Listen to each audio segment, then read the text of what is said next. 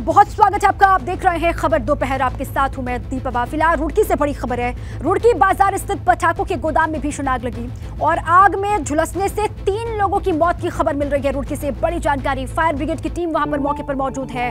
मौके पर एसपी समेत कई आला अधिकारी पहुँचे हुए हैं। आग लगने के कारणों की जानकारी में जुटे हुए हैं अधिकारी। ये बड़ी खबर रुड़की से। तस्वीरें भी सामने आ रही है। रुड़की बाज़ार स्थित पटाखों के गोदाम में भीषण आग लगी और आग में झुलसने की वजह से तीन लोगों की जान चली गई है, ये जानकारी वहाँ से मिल रही है। फायर ब्रिगेड की टीम मौके पर मौजूद, आग पर काबू पाने की कोशिश लगातार यहाँ पर की जा रही है। मौके पर एसपी समेत कई अधिकारी भी मौजूद हैं। आग लगने की वजह क्या रही? अभी तक ये साफ़ नहीं है। इन कारणों को तलाशने में वहाँ पर प्रशासनिक अधिकारी जुटे हुए हैं। दो तस्वीर आपको दिखा रहे हैं। पटाखे के गोदाम में आग लगी अफरा तफरी का माहौल वहाँ पर बना। तीन लोगों की जान चली गई है। आग में झुलसने की वजह से। दो तस्वीरें। पटाखे का गोदाम भी बताया जा रहा है, जहाँ पर अचानक से आग लगी और आग लगने की तस्वीर भी आपके सामने। फायर ब्रिगेड की टीम को सूचित किया गया। फायर कर्मी यहाँ पर पहुँचे और आग पर काबू पाने की कोशिश वहाँ पर करते हुए दिखाई दिए, लेकिन तीन लोगों की जान चली गई। जब ये घटना हुई थी तो इसमें जो भी इंजर्ड थे, तत्काल इनको सिविल हॉस्पिटल भेजा गया था।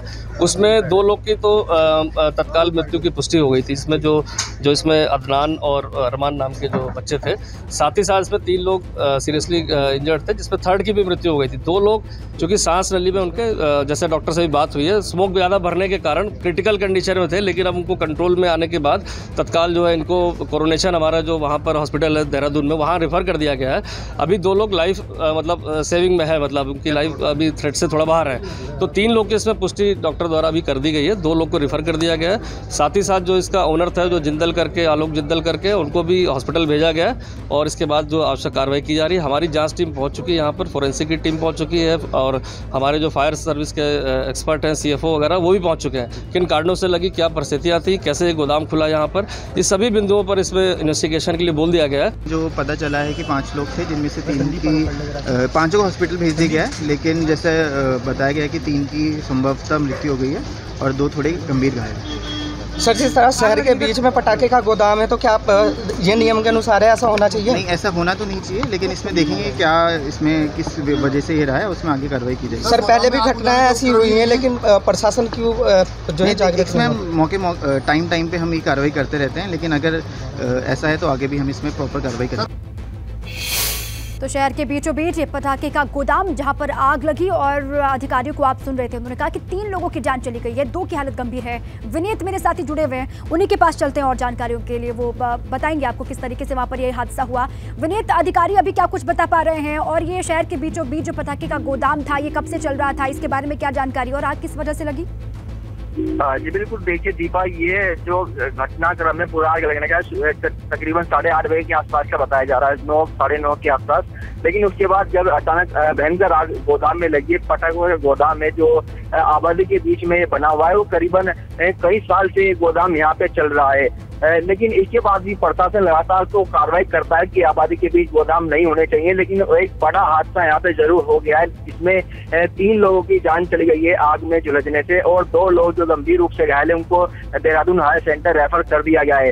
फ़िलहाल अभी जो एस एस पी हरिद्वार है, जो प्रशासन के अधिकारी है, वो मौके पर पहुँचे हुए हैं और फोरेंसिक टीम भी जाँच के लिए पहुँच चुकी है और बताया ये भी जा रहा है कि जो गढ़वाल आईजी है, वो भी थोड़ी देर में यहाँ पे पहुँचने वाले हैं। तो यानी एक बड़ा दुखद हादसा जो आज रुड़की में हुआ है पठाया गोदाम जो है, उसमें आग लगने से। जी। ठीक है, शहर में घनी आबादी के बीच में ये गोदाम चल रहा था, जहाँ पर ये धमाका हुआ। उसके बाद तीन लोगों की जान गई। अधिकारी वहाँ पर लगातार पहुँच रहे हैं। शुक्रिया विनीत आप नज़र बनाए रखें। अमेठी से बड़ी खबर है हादसे की। अमेठी में तेज रफ्तार कार का कहर दिखाई दिया। तेज रफ्तार कार अनियंत्रित होकर के पलटी है और हादसे में कार सवार सभी तीन युवक घायल बताए जा रहे हैं। गंभीर हालत में तीनों को ट्रॉमा सेंटर रेफर किया गया। मुंशीगंज कोतवाली के शाहगढ़ के पास ये हादसा बताया जा रहा है। वहीं की तस्वीरें भी सामने आई हैं। तेज रफ्तार कार का कहर, कार अनियंत्रित होकर के यहाँ पर पलटी। हादसे के बाद की तस्वीर आपके सामने है। कार में सवार तीन युवक जो घायल हैं, गंभीर हालत इनकी बताई जा रही है। तीनों घायलों को ट्रॉमा सेंटर के लिए रेफर किया गया। मुंशीगंज कोतवाली के शाहगढ़ के पास ये हादसा बताया जा रहा है। तेज रफ्तार की वजह से ये हादसा अनियंत्रित होकर के कार पलटी और तीन युवक जो कार में सवार थे वो गंभीर रूप से घायल हैं, जिनको स्थानीय लोगों की मदद से अस्पताल भेज दिया गया। और मुंशीगंज कोतवाली के शाहगढ़ के पास यह हादसा हुआ। हादसे के बाद की एक्सक्लूसिव तस्वीर इस वक्त आप देख रहे हैं। तीन लोगों की हालत गंभीर। कार किस तरीके से यहाँ पर पलटी? अनियंत्रित होकर के, क्योंकि तेज रफ्तार कार की थी और तेज रफ्तार की वजह से ही यह हादसा हुआ बताया जा रहा है। कार पलटी और उसमें सवार तीन लोग गंभीर रूप से घायल, जिनको अस्पताल पहुँचा दिया गया। हादसे के बाद वहाँ पर लोगों की भीड़ जुटनी शुरू हुई। हादसे के बाद की ही ये तस्वीर इस वक्त आप देख रहे हैं। अमेठी में यह हादसा हुआ है। कार हादसे का शिकार तेज रफ्तार की वजह से अनियंत्रित होकर के पलटी और तीनों युवक गंभीर रूप से घायल हुए। मरीजों की ज़िंदगी में उजाला करने वाले डॉक्टर अंधेरे में काम करने को मजबूर हैं। जी, वजह गाजियाबाद के संजय नगर स्थित जिला संयुक्त अस्पताल में बीती 16 तारीख को शॉर्ट सर्किट हुआ था और जिसके बाद अस्पताल के ओपीडी वार्ड में बत्ती गुल है, बिजली तक नहीं है। बिना लाइट के ही ओपीडी में डॉक्टर मरीजों को देख रहे हैं। तस्वीरों में आप देख लीजिए किस तरह से जिला संयुक्त अस्पताल के ओपीडी सेक्शन में बिना बिजली के ही मरीज़ कतार में खड़े हैं। और साथ ही डॉक्टर भी टेबल पर छोटी लाइट रख करके मरीजों को देख रहे हैं। मरीजों का कहना ये कि बिजली ना होने की वजह से बहुत परेशानी इनको यहाँ पर हो रही है। कई दिनों से अस्पताल में बिजली नहीं है और इसी तरीके से डॉक्टर्स मरीजों को देख रहे हैं। इतनी लंबी कतार यहाँ पर मरीजों की लगी हुई है। दो तस्वीर जिला अस्पताल की हालत को आप समझिए, अंधेरे में काम यहाँ पर डॉक्टर करने को मजबूर हैं। कई दिनों से यहाँ पर लाइट नहीं है और अंधेरे में यहाँ पर मरीजों को टॉर्च की लाइट में डॉक्टर देखते हुए दिखाई दे रहे हैं। इसको लेकर तीमारदार बेहद परेशान, मरीज़ परेशान, मरीज़ ये कह रहे हैं कि कई दिनों से ये सब हो रहा है। कई मुश्किलों का सामना उनको करना पड़ रहा है। लंबी लंबी लाइनों में मरीज़ लगे हुए हैं। लाइट नहीं होने की वजह से टॉर्च की रोशनी में मरीजों को देख रहे हैं यहाँ के डॉक्टर्स। चार चार दिन से ये प्रॉब्लम आई है केबल चढ़ गया है। तो इधर तो छुट्टी आ गई थी तो थोड़ा ज़्यादा प्रॉब्लम वो नहीं है लेकिन अब आज थोड़ा सा है आज ठीक हो जाना चाहिए था। लेकिन ये आ, कह रहे हैं कि भी थोड़ा टाइम और लेगा। तो सर ऐसे जितनी हमारी जितनी जो जो जो व्यवस्था है हम लोगों की हो सकी है हमने कर दिया है। जहाँ पे थोड़ी कोई टेक्निकल प्रॉब्लम्स आ रही है उसको अभी वो बिजली वाले अपने हिसाब से दे जोशीमठ से अगली खबर जोशीमठ में मारवाड़ी के पास हाईवे में फिर दरार देखी गई है। हाईवे के 10 किलोमीटर के हिस्से में दरार आई है और हाईवे पर कई अन्य जगहों पर भी, नई जगहों पर यह कहा जा रहा है कि दरारें देखी गई हैं। आपदा की चपेट में 40 मीटर दीवार का हिस्सा और जेपी कंपनी के स्टोर के पास दरारें देखी गई हैं। रेलवे गेस्ट हाउस के पास भी दरार आई हुई है। एसबीआई शाखा के सामने भी दरार है। चुनार गाँव जाने वाला जो रास्ता, वहाँ पर भी बड़ी बड़ी दरारें देखी जा रही है। मारवाड़ी पुल से सौ मीटर पहले हाईवे पर दरारें हैं। लगातार मुश्किलें यहाँ पर किस तरीके से बढ़ रही हैं, देखिए आप। मारवाड़ी के पास हाईवे पर फिर से दरार आई हुई है। 10 किलोमीटर के हिस्से में दरार की खबर है। हाईवे पर कई नई जगहों पर फिर से दरारें देखी जा रही हैं। ये नई दरारें बताई जा रही हैं। आपदा की चपेट में 40 मीटर दीवार का हिस्सा। जेपी कंपनी के स्टोर के पास दरारें आई हुई हैं। रेलवे गेस्ट हाउस के पास भी दरार है। और इसके अलावा एसबीआई शाखा के सामने भी दरार की खबर है। चुनार गाँव जाने वाला जो रास्ता है, वहाँ पर भी दरार आई हुई है। मारवाड़ी पुल से 100 मीटर पहले हाईवे पर दरारें देखी गई है। यहाँ पर देख लूँगा यहाँ पर लगभग एक बहुत बड़ा गड्ढा बन गया कल रात लगभग ये इसको बता था बीस फीट का गहरा है। और इससे जो जो जो यात्रा वाहन है या यात्रा जो गाड़ी जाती मेन हाईवे यही है। तो जानते हैं लोग किस तरह से ये गड्ढा हुआ कैसे ये गड्ढा इसके बारे में जानना चाहते हैं। जी बताया कि किस तरह से गड्ढा हुआ कब हुआ कैसे हुआ ये गड्ढा कितना ये, ये हमने भी कल शाम को देखा ये जब इसमें गड्ढा देखे तो हमने बोला कितना गहरा गड्ढा होगा फिर हमने इसको नापा। तो तकरीबन 20 फीट या 25 फीट सरिया इसके अंदर गई। और यहाँ पे इसके चारों तरफ़ फिर ये पत्थर का बैरियर किया गया। आप लगाओ कि हमारा एक राजमार्ग है। अगर इसमें यात्रा चले, क्या यात्रा सुरक्षित है क्या? किसी की गाड़ी या किसी का मोटरसाइकिल या किसी का बच्चा भी इस खड्डे में गिर सकता है। आप लोग देख सकते हैं। और यहाँ पे एक ही नहीं, एक खड्डा आगे भी है, जो कि पूरे रोड पर खड्डे बने जा रहे हैं। और प्रशासन कह रहा है जोशीमठ सब कुछ ठीक है, क्या ये ठीक है? आप लोग देख सकते हैं। और जो भी हालत अभी जोशीमठ की है, ये दैनिक नहीं है, बहुत ही दुखदायक है और जल्दी से जल्दी सरकार को इसके बारे में संज्ञान लेने चाहिए। जी आपने खुद यहाँ पर इसको नापा है किस कितना गहरा है कितना चौड़ा कितना गहरा गड्ढा है ये लगभग? जी धन्यवाद। ये सवेरे हमने सरिया डाल के इसमें नापा है बल्कि हमने इसको ग्रुप में भी भेज रखा है तो उसमें अभी आप लोग शायद देख पाएँगे। तो इसमें कम से कम 20-30 फुट गहरा ये सरिया से नापा गया है तो कम से कम 20-30 फुट गहरा ये हो चुका है, है और इसके अंदर से जो है कि वह ठंडी ठंडी हवा सी भी निकल रही है। और कम से कम आप भी देख पा रहे होंगे कि रोड में भी कम से कम दो, ढाई फीट का धसाव नीचे को बैठ गया है। अच्छा जो ये गड्ढा हुआ है तो ये सीधे में नहीं है, ये रोड की तरफ़ को है, अंदर की तरफ़ को। तो ये कभी भी कोई बड़ी घटना को अंजाम दे सकता है। तो देखिए, कुछ ही वक्त के बाद चारधाम यात्रा की शुरुआत भी होने वाली है, लेकिन उससे पहले जो नई दरारें यहाँ पर देखी गई हैं, वो बहुत सारे सवाल भी खड़े करती है। एबीपी गंगा के सवाल क्या है इन दरारों को लेकर, वो आपको सबसे पहले बता दें। इतनी लापरवाही क्यों बढ़ती जा रही है? लगातार ये कहा जा रहा है, सरकार अभी तक कोई ठोस कदम क्यों नहीं उठा पाई है यहाँ के लोगों के लिए? जोशीमठ संकट के बीच चारधाम यात्रा पर बड़ी खबर भी आपको बताएँगे। उससे पहले लगातार नई नई जगहों पर फिर से दरारें देखी जा रही हैं। जोशीमठ से मारवाड़ी जाने वाले हाईवे पर भी ये कहा जा रहा है कि वहाँ पर भी दरारें हैं। जोशीमठ संकट के बीच कैसे होगी चारधाम यात्रा? ये बड़ा सवाल है। चारधाम यात्रा की शुरुआत कुछ ही वक्त में हो जाएगी। जोशीमठ संकट के बीच में क्या है प्रशासन की तैयारी? ये अब जोशीमठ के लोग भी सवाल पूछ रहे हैं। क्या ऐसे हालात में चारधाम यात्रा संभव हो पाएगी क्या? ये सवाल बड़ा अपने आप में हो जाता है। जोशीमठ का हल नहीं निकला। यात्री कैसे संभव? यात्रा कैसे संभव है जब जोशीमठ का हल आप नहीं निकाल पा रहे हैं? करीब दो महीने का वक्त क्या कर रहा है प्रशासन? बड़ा सवाल ये कि दो महीने का वक्त गुजर गया, लेकिन अभी तक कोई ठोस फैसला दिखाई नहीं दे रहा। रणनीति समझ में नहीं आ रही है। जोशीमठ संकट के बीच में कैसे होगी चारधाम की यात्रा? सबसे बड़ा सवाल ये, चारधाम यात्रा की तैयारी सरकार कर रही है, लेकिन जोशीमठ के लोगों के पुनर्स्थापन के लिए, उनके पुनर्वास के लिए कोई ठोस कदम अभी तक क्यों नहीं उठाया गया? ये बहुत सारे सवाल है जो खड़े होते हैं। और देखिए जोशीमठ का हल अभी तक सरकार नहीं निकाल पाई है। तो यात्रा कैसे संभव है? यात्रा को कैसे आप आगे बढ़ाएँगे? करीब दो महीने का वक्त बचा आपके पास दो महीने का वक्त गुजार दिया, लेकिन अभी तक कोई ठोस कदम नहीं। प्रशासन क्या कर रहा है? प्रशासन को लेकर सवाल, सरकार को लेकर सवाल, सरकार की मंशा को लेकर सवाल। संकट के बीच में कैसे होगी चारधाम यात्रा? एक तरफ़ तो दावा यह किया जा रहा है कि चारधाम यात्रा सकुशल संपन्न करवाई जाएगी, लेकिन उससे पहले जोशीमठ का कोई प्रबंध सरकार नहीं कर पाई है। जोशीमठ को बचाने की जो मुहिम चल रही थी, उस पर भी सरकार कोई ठोस कदम लेती हुई दिखाई नहीं दे रही है। अब देखिए, बद्रीनाथ हाईवे पर दरार आई हुई है। चार तस्वीरें आप मेरे आसपास देख रहे हैं। हाईवे पर गहरा गड्ढा हो गया है। दरारें और बड़ी और चौड़ी होती जा रही हैं। जोशीमठ आपदा का संकट जो है, जो आपदा का संकट बना हुआ है, वो अभी बरकरार है। यहाँ के लोग बहुत चिंतित हैं, सरकार पर सवाल। और अप्रैल से चारधाम यात्रा की शुरुआत भी होने वाली है।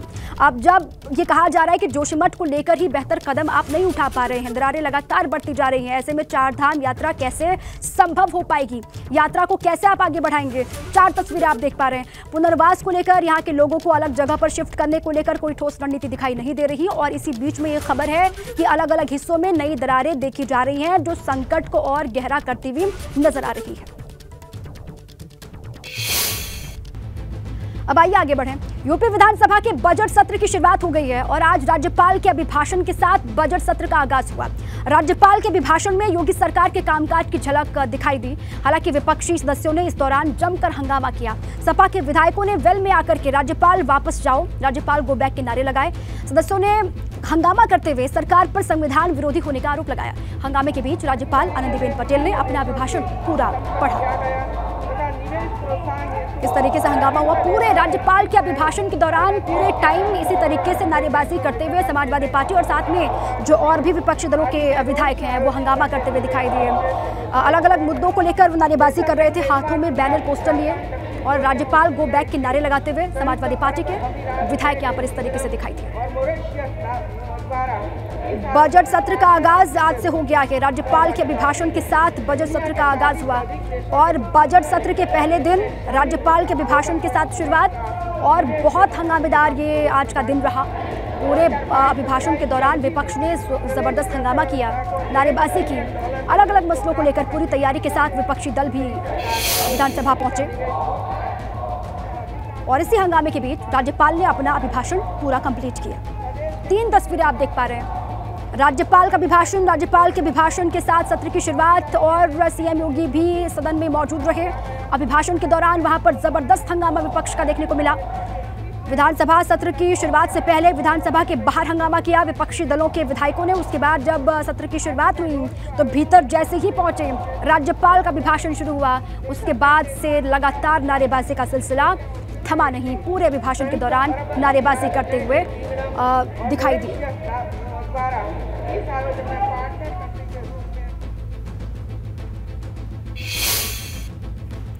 राज्यपाल ने अभिभाषण की के दौरान क्या कुछ बड़ी बातें कही हैं, ये आपको बता दें। भारत के विकास का इंजन उत्तर प्रदेश है, इस बात का उन्होंने ज़िक्र किया। और यूपी में सबसे अधिक जनधन खाते खोले हैं। उन्होंने क्या कुछ कहा है? चलिए, सुनाते गंगा एक्सप्रेसवे का निर्माण किया गया। उत्तर प्रदेश में सदस्य कॉरिडोर अंतर्गत अलीगढ़, आगरा, झांसी, चित्रापुर, कानपुर एवं लखनऊ नोएड रक्षा क्षेत्र से जुड़े उद्योगों की स्थापना का कार्य प्रगति पर है। यमुना एक्सप्रेस वे औद्योगिक विकास प्राधिकरण के सेक्टर इक्कीस, लगभग एक हज़ार एकड़ भूमि पर फ़िल्म सिटी का प्रकाराधीन है जिससे उनके हज़ार करोड़ से अधिक निवेश की संभावना। इक्कीस हज़ार किलोमीटर लंबाई में ग्रामीण मार्गों को निर्माण एवं अठारह हज़ार चार सौ सात किलोमीटर लंबाई में मार्गों का चौड़ीकरण सुदृढ़ीकरण का कार्य किया जा रहा है। प्रतिदिन नौ किलोमीटर के औसत से चौड़ीकरण सुदृढ़ीकरण तथा दस किलोमीटर प्रतिदिन के औसत से नए मार्गों का निर्माण किया जा रहा है। और वहीं आज की कार्यवाही और सत्र संचालन पर डिप्टी सीएम केशव प्रसाद मौर्य ने कहा है कि सपा का आज का आचरण बेहद घटिया रहा बेहद खराब रहा। हमारे साथ में डिप्टी सीएम केशव प्रसाद मौर्य जी हैं। सर सदन की शुरुआत के पहले ही हंगामा शुरू हो गया था चौधरी चंद सिंह जी की प्रतिमा के पास और राज्यपाल के अभिभाषण के दौरान भी वो चलता रहा। देखिए जो सदन के प्रारंभ से पहले जो इन्होंने आज प्रदर्शन किया था वह तो उनका मीडिया इवेंट था। कैसे मीडिया में स्पेस पाएँ और आप लोग भी दिखा दिए उनको और सवाल भी पूछ रहे हो। लेकिन जो सदन के अंदर महामहिम राज्यपाल जी के अभिभाषण के दौरान इनका आचरण था वह बहुत ही घटिया किस्म का था, महिला विरोधी आचरण था, और इनके मतलब जो सामान्य नए नए सदस्य चुन करके आए, उनके हाथ में तख्तियाँ तो देखी जाए तो समझ में आता है। स्वयं श्री अखिलेश यादव जी, शिवपाल जी सारे जी इनके सीनियर थे वो भी हाथ में तख्तियाँ लेकर के ऐसा विरोध कर रहे थे जैसे लगता था कि राज्यपाल जी के अभिभाषण का मतलब सपा का सफाया होने जा रहा है। आ, जब कल बैठक कार्य मंत्रणा समिति की बैठक होती है उसमें तय हुआ था कि वो अपना विरोध दर्ज कराने का काम करेंगे। तो विरोध दर्ज कराने का सबको अधिकार है विरोध दर्ज दर्ज कराइए। विपक्ष रचनात्मक भूमिका भी अदा करता है अपना रचनात्मक दायित्व अदा करता है। लेकिन ये अपराधी और माफिया, गुंडे, अराजक तत्वों की तरह अपना आचरण प्रस्तुत करते हैं। तो यह गलत है। अगर उनको कोई बात कहनी है, सरकार ने कहा है कि आपके पास जितने सवाल हों, हर सवाल का जवाब लेकर के हम बैठे हुए हैं। अगर महामहिम राज्यपाल जी का अभिभाषण था तो उस दौरान हंगामा क्यों किया इन्होंने?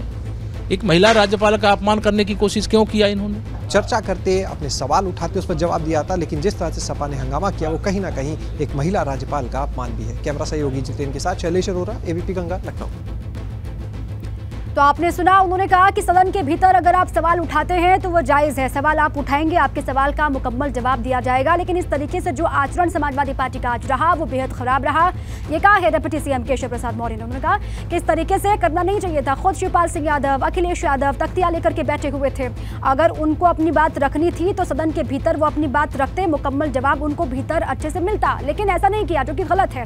और इससे ये प्रतीत हुआ कि राज्यपाल का अभिभाषण जो शुरू होने वाला था उससे आ, वो डर गए थे। ये साफ़ तौर से दिखाई दिया केशव प्रसाद मौर्य ने कहा।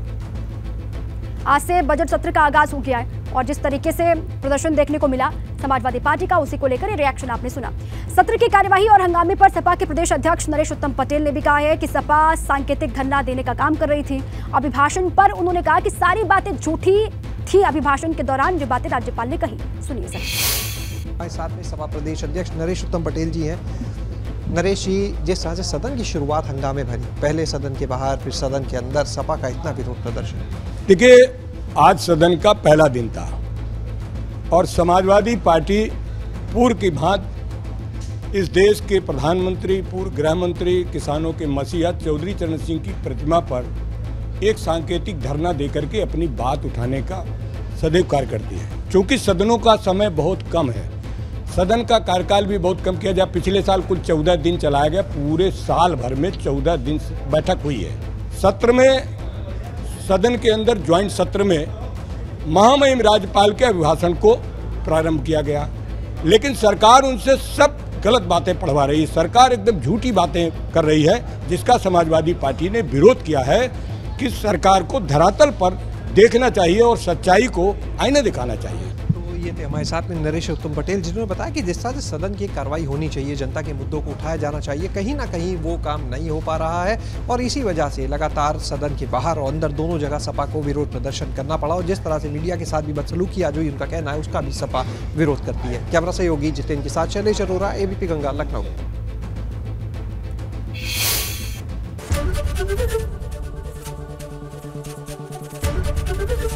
एबीपी गंगा।